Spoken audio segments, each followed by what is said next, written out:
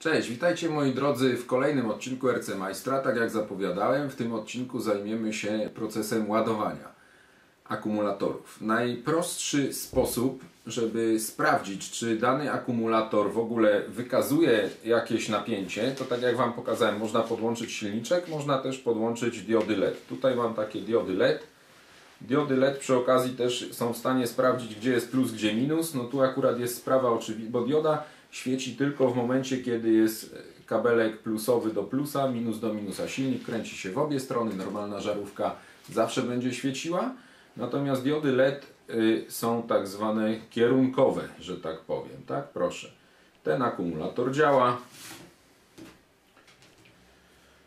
Tu możemy sobie sprawdzić też, ostrożnie dotykając leciuteńko plusa. Proszę, też działa. Zaczynamy od ładowania akumulatora niklowo-kadmowego.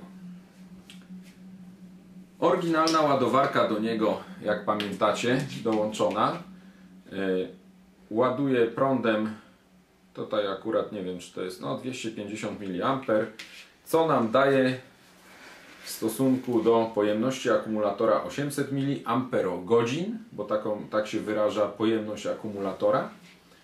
250 razy 3 dałoby nam 750 i jeszcze 50 mAh. Powiedzmy, że nie jest wyładowany do zera takiego leżącego, że nie wykazuje żadnego napięcia, w związku z czym trzeba liczyć, że czeka nas 3 godzinne ładowanie, aż znowu pojeździmy. Nie jest to fajna sprawa, dlatego mówiłem Wam o najprostszej ładowarce, a jest to ładowarka GPX Extreme ta, ten akurat egzemplarz jest kupiony w sklepie Satamax. Nie nalegam, ale radzę kupować w polskich sklepach, tam gdzie możecie liczyć na wsparcie, na pomoc i tak dalej. Od zawsze zaczynamy najpierw sobie zaczniemy w ogóle od ustalenia, bo do, do ładowarki są różne przewody dołączone, to my sobie ustalimy jaki mamy wtyk. Mamy wtyk typu Tamiya plus minus tutaj czarne, czerwone, czerwone do czerwonego, czarne do czarnego. Mamy przygotowane. Nie podłączamy, broń Boże. Zawsze najpierw włączamy do sieci 240, chyba już jest teraz volt. Włączamy ładowarkę. Zrobimy, zrobimy rzecz taką, ponieważ mówiłem, że akumulator niklowo-kadmowy ma ten tak zwany efekt pamięci, więc nie byłoby wskazane, włączyć go do ładowania i przerwać ten proces. W związku z tym faktem mam przygotowaną jeszcze drugą ładowarkę, zaraz ją przyniosę. Zaczniemy od ustawienia.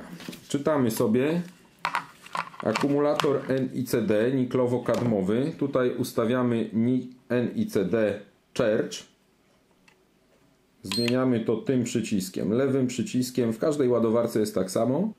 Program Select, Nickel, Cadmium, tak jest ołowiowy. Szukamy sobie, tutaj sobie jakby nawigujemy po menu. NIMH, niklowo-wodorkowy, niklowo-kadmowy. Gdybyśmy chcieli ładować ten niklowo-kadmowy akumulator, należałoby to zrobić tak. Teraz należy przyciskiem start wejść w tą funkcję. 0,8 A jest ustawiony. 800 mAh. Gdybyśmy takim prądem ładowali, bo to jest zalecany prąd ładowania, to wtedy ten akumulator powinien się nam ładować godzinę. E, z doświadczenia mojego wiem, że można nawet podwójnym czy potrójnym prądem ładować, żeby było szybciej, więc możemy to podbić. Jak to się robi? Tutaj teraz popatrzymy. Przyciskiem Start wywołujemy aktywność jakby tego prądu ładowania. Zmieniamy na przykład na 1,6, y, czyli 2 razy 0,8. Akceptujemy. Gdybyśmy, no akurat 1,5 mi się kliknęło, 1,6. W ten sposób będziemy ten akumulator ładowali pół godziny teoretycznie kosztem takim, że on się może bardziej rozgrzać i będzie krócej żył, ale w praktyce ja bym się tym specjalnie nie przejmował. To jest myślę nadal jakby bezpieczny prąd do ładowania tego typu akumulatora. Nie będziemy w tej chwili podpinać tego niklowo-kadmowego akumulatora, podepniemy go sobie pod drugą ładowarkę, którą za chwilę przyniosę. Mam drugą ładowarkę, znowu procedura jest ta sama. Rozpoczynamy włączenie. W tej chwili jest na trybie dla akumulatorów litowo-polimerowych. Menu jest dokładnie to samo. Zmieniamy sobie na niklowo-kadmowe. Akceptujemy prawym przyciskiem 0,3 A. No to sobie wejdziemy w to prawym przyciskiem. Damy na plus, ustawimy sobie 1,6 A, zaakceptujemy. Teraz, żeby to mogło nastąpić, to weźmiemy sobie ten kabelek, pożyczymy stąd, plus do plusa, minus do minusa. Podłączymy sobie pakiecik. No to co mówiłem, że to nie są przyjemne. O, teraz ładnie wszedł. I teraz przyciskiem prawym start. Naciskam i trzymam. Czekam na meldunek i ładowanie się rozpoczęło. Pakiet nasz ma 9,6 V nominalną, nominalne napięcie, bo składa się z 8 ogniw. W związku powyższym, tutaj Kubuś, proszę Cię, w związku powyższym prąd, żeby płynął od ładowarki w stronę akumulatora, musi mieć wyższe napięcie niż napięcie w pakiecie. To dokładnie tu są podobne prawa fizyki jak e, naczynia połączone z wodą. Zawsze woda przepłynie z wyższego poziomu do niższego, będzie dążyła do wyrównania. System elektroniczny w ładowarce będzie dbał o to i próbkował ten akumulator i w którymś momencie uzna, że akumulator już ma swoje, osiągnął maksymalne napięcie i wtedy go nam wyłączy. Teraz kolejne rzeczy, które tu mamy, czyli tak, intensywność, o teraz go próbkuję, zobaczcie, spadło na 0, robi próbę, 10,8, spada tutaj voltaż. Czas ładowania, czyli CHG, Church, to jest ładowanie, już minutę i 4 sekundy w tej chwili odbywa się ten proces. 21, 22, tutaj są miliamperogodziny, jakie już zostały wtłoczone w ten akumulator i w tej chwili napięcie, jakie osiąga ładowarka, tłocząc prąd o yy, natężeniu 1,6 A w ten akumulator. Proces ładowania trwa, pikaniem oznajmi nam pełne naładowanie. Naturalną będzie rzeczą, że akumulator im bardziej się, im bliżej będzie końca ładowania, tym będzie cieplejszy. Odkładamy sobie to, niech się ładuje ten niklowo-kadmowy akumulator od mojego Landbustera albo naszego Landbustera. E, jesteśmy znowu przy ładowarce Greenbox. Nie widać nic. Weź. Nie widać nic, teraz widać. Program Select Nickel Cadmium Battery. Nie będziemy teraz ładować niklowo-kadmowej, niklowo-kadmowej baterii, akumulatora, przepraszam. Będziemy ładować niklowo-wodorkowy, czyli NIMH. Jest to akumulator, to akurat no mamy reklamę, pozdrawiamy. Witka. Wyblurujemy. To jest tak, Riku Model Sport 2000 mAh, czy tam 1000, 2000 jest napisane. Dobrze, czyli yy, może płasko i jak widać dobrze, to klikamy. Wybór lewym przyciskiem, wybór menu, tylko ja teraz widzę kamerę, nie widzę co się dzieje, więc Popatrz tak przez nie kamerę. może być. Dobra. Klikamy. Dalej, dalej. Licha V, litowo high voltage, najnowsza technologia akumulatorów litowo-polimerowe nas w tej chwili nie interesują.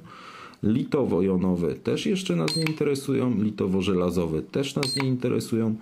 Niklowo-wodorkowe NIMH. Prawym przyciskiem zatwierdzamy. 2,5 ampera prąd ładowania. Prawidłowy prąd ładowania dla takiego akumulatora NIMH 2000, taki, który mu zapewni długi żywot, to jest 2 ampery.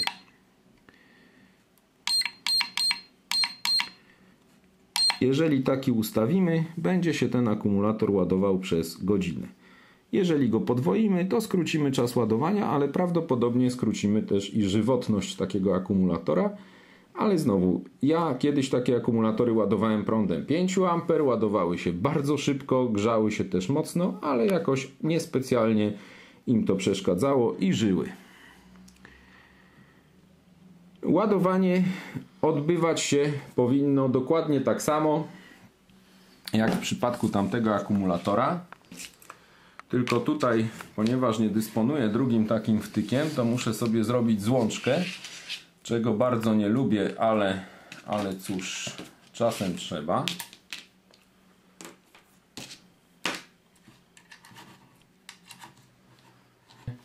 Podłączamy kabelek typu DINS, żeby mieć przejściówę do Tamiya. Wpinamy. Mamy prąd 2 ampery. Znowu naciskam prawy przycisk, trzymam, ładowanie rozpoczęte. Akumulator typu NIMH, wszystko się zgadza. Prąd ładowania w tej chwili jest minimalny 0,7 A. On powoli będzie dążył do 2 A. Jest to całkowicie naturalna sprawa. Woltaż też będzie stopniowo wzrastał.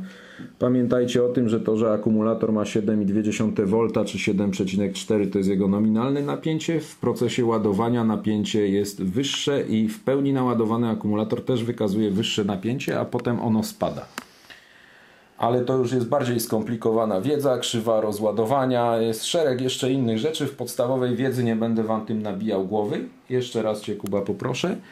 Pamiętajcie, CHG to jest church, czyli proces ładowania się odbywa dla akumulatora niklowo-wodorkowego prądem 2 amperów. E, napięcie w tej chwili sobie tutaj, teraz jest właśnie ten moment próbkowania. 55, 6, teraz 7 sekunda procesu. 24 mAh mamy w tej chwili wtłoczone. E, nie będzie błędem, jeżeli przerwiemy proces ładowania niklowo-wodorkowego akumulatora, bo on nie cierpi tak jak niklowo-kadmowy na efekt pamięci. Zatrzymanie przyciskiem stop. Jeszcze się nie zatrzymało, to musimy. Teraz jest ładowanie zatrzymane. Gdybym startem, to będzie chyba podobnie. Spróbujmy. Rozpoczynamy ładowanie. Aha, możemy zmienić parametry, czyli teraz jest przerwa w ładowaniu. Dobra.